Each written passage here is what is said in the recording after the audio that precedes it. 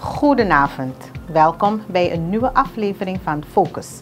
Het programma waar het accent gelegd wordt op de activiteiten die voor u van belang zijn.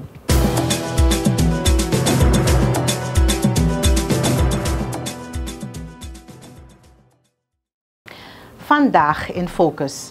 Telecomgigant Huawei richt zich op lange termijn investeringen Surinaamse ICT-sector rondleiding CCP Museum voor president Santoki en Zandwegen Bernardorp worden gerehabiliteerd.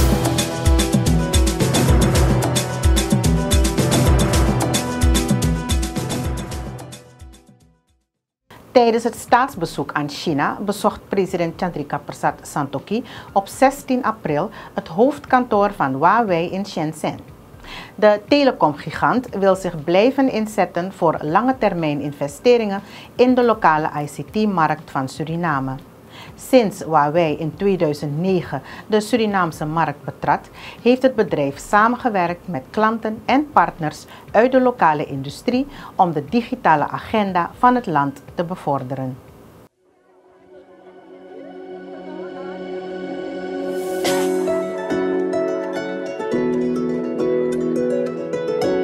De president had een ontmoeting met Jeff Wang, senior vice president en president van de afdeling Public Affairs en Communicatie van Huawei. Wang merkte op dat Huawei, geleid door het principe van in Suriname voor Suriname, zich wil blijven inzetten voor lange termijn investeringen in de lokale ICT-markt van Suriname en het vervullen van haar zakelijke verantwoordelijkheden in lokale gemeenschappen.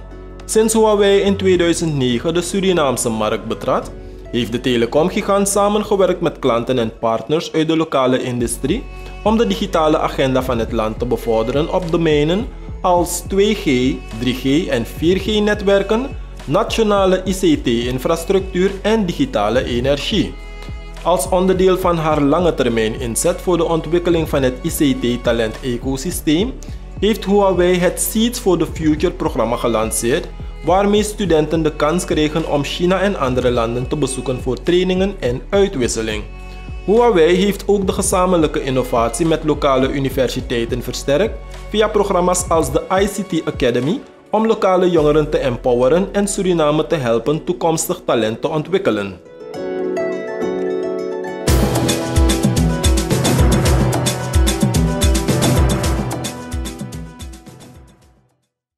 Op donderdag 11 april bezocht president Chandrika Prasad Santokhi het museum van de Chinese Communistische Partij CCP in Beijing, China. Daar werd hij ontvangen door directeur Seng Sen Sun. Het staatshoofd kreeg een uitgebreide rondleiding.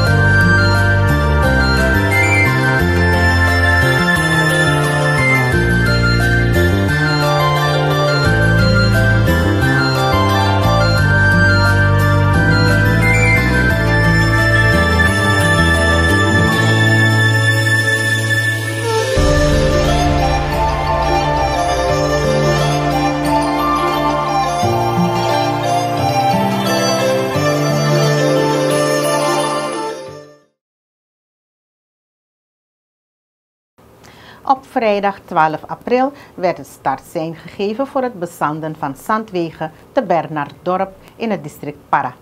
Het bezanden van de wegen zal worden uitgevoerd met een mix van course, savannazand, lateriet en klinkzand.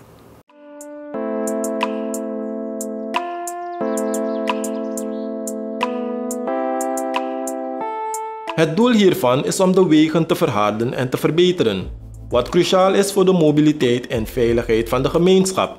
Vikash Muna, onderdirecteur Droge Civiel-Technische Werken, benadrukte in zijn toespraak het belang van het regelmatig onderhouden van onverharde wegen.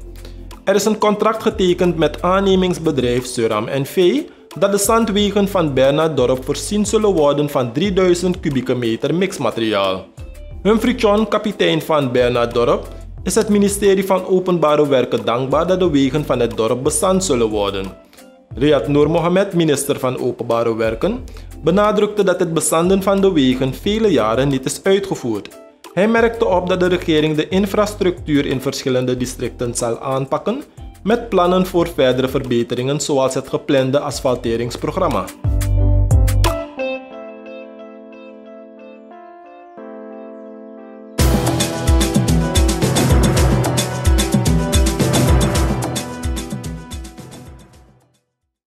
Beste kijkers, dit was Focus. Bedankt voor uw aandacht. Goedenavond.